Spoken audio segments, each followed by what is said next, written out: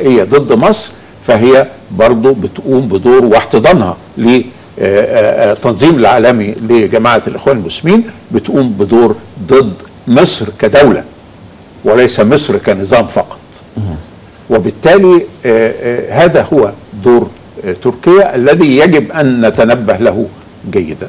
يعني هي هذه الأدوار مرتبطة بشخص أردوغان ولا مرتبطة بال بال بالنظام التركي؟ لا بالنظام التركي. بالنظام التركي. ولكن أردوغان بيخشى على نفسه وعلى حزبه من انقلاب العسكر في تركيا مرة أخرى على الحكم المدني.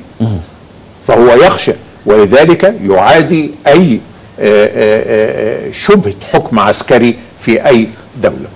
هل حضرتك لو استمر الوضع يعني واضح ان إن تركيا آه، آه، حتى أول رد فعل جه من من أردوغان إن هو ناوي التصعيد. تركيا تريد التصعيد مع مع مصر. هل يمكن أن تصل الأمور إلى حد تكليف إحدى الدول سواء في تركيا أو مصر برعاية مصالح الدولتين؟ هل في- إحنا في حالة قطع العلاقات. فقط قطع العلاقات؟ يعني هل حضرتك شايف إن إحنا رايحين لقطع العلاقات ولا الجانب من الواضح إن الجانب التركي مش عايز مش عايز الرساله لغاية دلوقتي مش عايز توصل له؟ يعني هو مش عايز توصل له الرساله لغاية دلوقتي هو مصمم على موقفه. الجانب التركي إذا استمر في هذا أعتقد وهذا رأيي الشخصي أنه لن يكون هناك مناص من قطع العلاقات. لأن مصر لا يمكن أن تصبر على كل هذه التصريحات العدائية وليس فقط تصريحات وإنما كل هذا التأييد والدعم سواء مادي أو معنوي للحركات المعادية لمصر وللنظام في مصر. أي الدولتين في حاجة إلى الأخرى؟ هل مصر هي في حاجة لتركيا ام أم تركيا هي التي حاجة في حاجة إلى مصر؟ والله آه، آه، أنا بعتبر أن كل الدول في حاجة إلى بعضها. التعاون الدولي لا يمكن الاستغناء عنه. ولكن طبعا الأوضاع السياسية والأمور السياسية والخلافات السياسية بتتدخل لإفساد هذا التعاون أو لت- لتدعيم هذا التعاون. وبالتالي فأنا لا أستطيع أن أقول من آه، أكثر بحاجة إلى الآخر وإنما أستطيع أقول إن الدول كلها بحاجة إلى بعضها البعض. يعني البعض يتساءل هل تركيا استعاضت بعلاقتها بأفراد على حساب الشعب المصري؟ دي دي مش أفراد. دي آه، آه، استعاضت بتنظيمات دولية وليس بافراد يعني هي آه، بتلعب دور. وهذا الدور بيقتضيها أنها تعتمد وتحرك أيضا تنظيمات دولية ضد دول أخرى. يمكن ال... كنا بندردش مع حضرتك قبل البرنامج إن. إحنا كمصريين فخورين بالخطوات والسياسة الخارجية المصرية بتحسسنا إن الوطن المصري عنده كرامة نقدر ناخد قرار نقدر نقول في وجه أكبر دولة في العالم لا أقف عند حدك الجانب التركي ما تتدخلش في الشأن المصري. شايف حضرتك لامس التغير ده إزاي في السياسة الخارجية المصرية؟ آه، الحقيقة ال- الأحداث والتدخلات الأجنبية فرضت على الخارجية المصرية آه، سلوك آه، طريق آه، معين. طريق واضح وصريح فيما يتعلق بإحقاق الحق. بمعنى أنه الولايات المتحدة ظهر تآمرها وتحريضها على مصر. اتخذنا موقف من الولايات المتحدة. آه، في ناس بيقولوا آه اتجهنا لروسيا زي أيام عبد الناصر. أنا ما بعتبرش إن إحنا اتجهنا لروسيا كبديل. لا أنا بعتبر إن هذا تصحيح لوضع كان خاطئا. هذا الوضع هو أنه كان يجب أن تكون علاقتنا قوية بروسيا في نفس الوقت بحيث لا تعتقد روسيا أننا عندما نختلف مع الأمريكان نلجأ إلى صداقة الروس. يجب أن تكون لنا علاقات متوازنة مع القوى الكبرى. وبالتالي أنا بعتبر أن هذا الذي سلكته الخارجية المصرية هو تصحيح لأوضاع كانت آه، خاطئة آه، من قبل. تركيا استضافت مؤتمرات لتنظيمات آه، تريد التخريب في مصر وتريد انتشار العنف في مصر. إذا ما أقدمت الجانب أقدم الجانب التركي على عدم استضافة مثل هذه المؤتمرات، هل هي ربما ترسل رسالة إلى الجانب المصري بضرورة عودة العلاقات مرة أخرى؟ ال- الحقيقة تصريحات أردوغان واللي حصل من من نظامه آه، ضد مصر ده أمر آه، يعني لا يغتفر. آه، يعني هقول أقل شيء إنه إذا قرر عدم احتضان هذه التنظيمات والبعد تماما عن ذلك وأنا أشك في هذا إذا قرر ذلك سوف نطالبه بالاعتذار للشعب المصري. على كل ما تحدث به ضد الشعب المصري وضد مصر. تمام. يعني آه، آه، السؤال مرة تانية يمكن من وجهة نظر حضرتك. يعني آه، أردوغان يعني هل العلاقات الاقتصادية والتجارية والثقافية التي تربط مصر وتركيا ربما بلغت في أو في الفترة الأخيرة في إزدهار؟ يعني العلاقات الاقتصادية العلاقات السياحية كانت بين الدولتين كانت في أوجها. هل آه، تركيا ستخسر ربما إذا ما كان هناك آه، بالعلا- بهذه العلاقات السياسية بأن تلقي ظلالها على العلاقات الاقتصادية، هل ممكن نحن نقدر نمسك الجانب التركي من العلاقات الاقتصادية هذه ولا تركيا عندها أجندة عايزة تنفذها؟ مش مشكلة أي علاقات ثانية تربطها بمصر؟ تركيا عندها أجندة وبتنفذها. آه، هي لا يهمها العلاقات التجارية مع مصر أو العلاقات الاقتصادية مع مصر. إذا ما وزنت هذه العلاقات مع الأهداف آه، التخريبية التي آه، تقوم بها. آه، إنما تركيا لها علاقات اقتصادية وتجارية مع دول أخرى.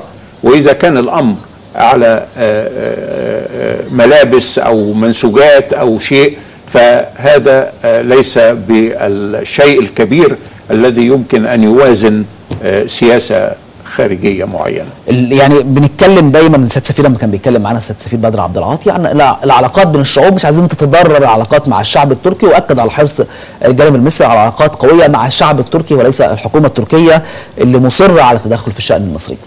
هل الشعب التركي ربما بعد هذه الخطوة ما آثرته من صخب كبير في وسائل الإعلام المصرية والعالمية والغربية وكلها هل يمكن أن الشعب التركي يتحرك للضغط على أردوغان ربما في ظل الاحتقان الحاصل ما بين أحداث ما بين البعض من الأتراك الذين كانوا يتواجدون في حديقة جيزي وما إلى ذلك، هل ممكن الشعب فعلا يتحرك؟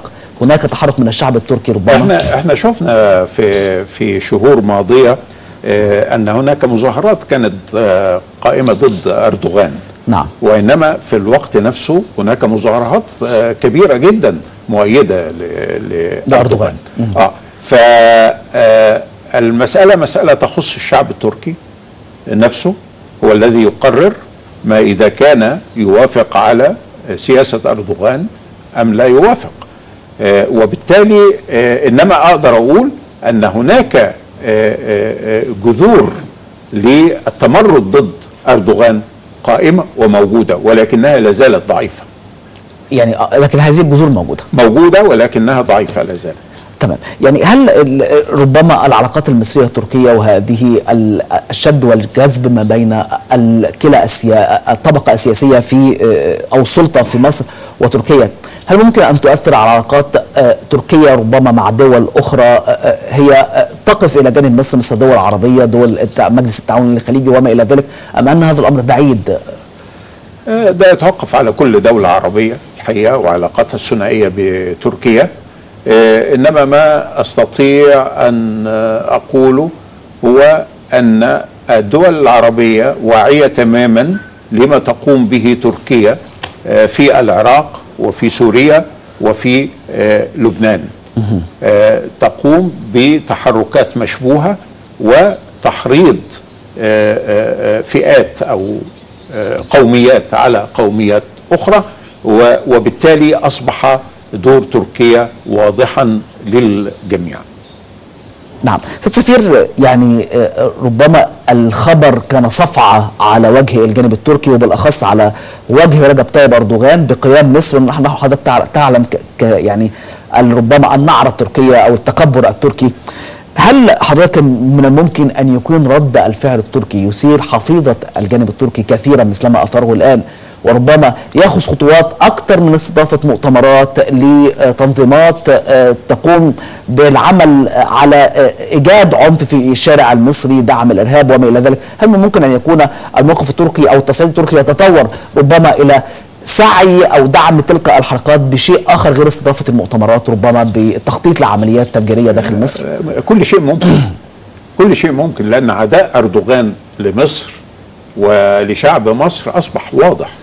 وبالتالي انه إحنا ننتظر أي شيء يقوم به أردوغان ليس فقط باستضافة مؤتمرات أو بإلقاء آه، خطب أو تصريحات وإنما من الممكن أن يساهم في آه، آه، عمليات أو يمول عمليات ضد مصر. يعني كما تعلم سيادتك إن تركيا دائما ما تسعى للانضمام للاتحاد الأوروبي، هل هذا الموقف وما تثيره ربما ال ال ال الإشارات المصرية والتجربات المصرية بأنها تحتضن مؤتمرات لمنظمات ترعى الإرهاب، هل من الممكن أن يؤثر هذا على آه، مسعى تركيا للانضمام للاتحاد الأوروبي؟ ده خلاص المسعى ده خلاص انتهى. لا خلاص آه، الاتحاد الأوروبي استبعد آه، دخول تركيا في الاتحاد الأوروبي خالص. خلاص انتهى يعني يعني بقيام آه ما عادش هذا الموضوع. حتى تركيا آه، آه، يأست من هذا و وسكتت. آه، هذا الموضوع يعني اغفل حتى على الأقل في الوقت الحاضر. السفير يعني سريعا هل تتوقع ماذا تتوقعه من رد فعل من الجانب الشعبي المصري؟ الشعب آه. ال- الشارع المصري. الشارع المصري؟ آه. زي ما انت شايف في الشارع المصري. يعني الشارع المصري اتجاهاته واضحة آه، هو ضد آه، العنف وضد التخريب وهو آه، ضد كل من يساعد على هذا أو يحرض على هذا. وبالتالي فالشعب المصري لا شك غاضب آه، أشد الغضب من الموقف التركي ومن موقف آه، أردوغان. نعم سيد السفير أحمد أبو الخير مساعد وزير الخارجية الأسبق. أشكرك جزيل الشكر شرفتنا يا فندم في هذه الحلقة شكرا لك.